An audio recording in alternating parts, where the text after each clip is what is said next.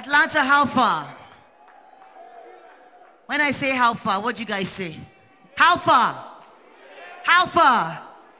Allow me to introduce myself. My name is Sheila O.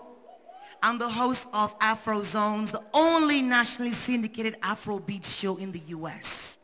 I want to say a big thank you to all the artists and especially all the labels that have been sending us our plaques because we keep breaking music. That's what we do.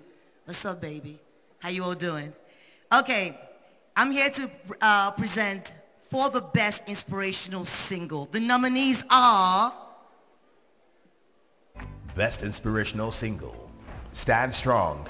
Davido featuring Sunday Service Choir. Jireh, My Provider. Limoblaze. Lecrae and Happi Music.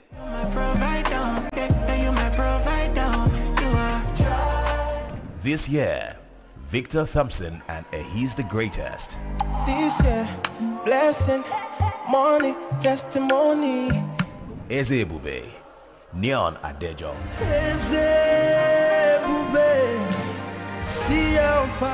Tobechukwu, Nathaniel Bassey and Mercy Chi.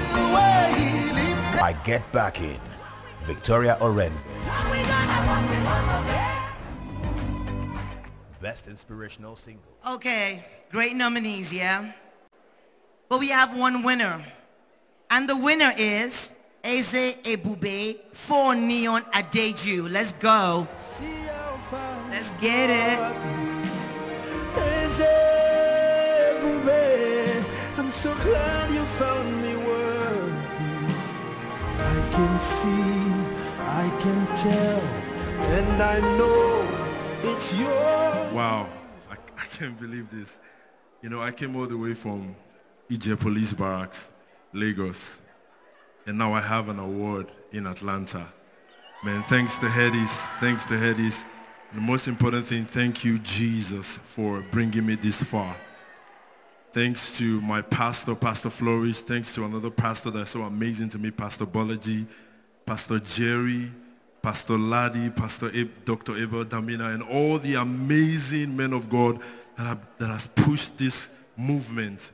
Thank you. Thank you so much. And for everyone streaming my song, I'm so grateful. I know y'all don't know me now. Give me a little time. Praise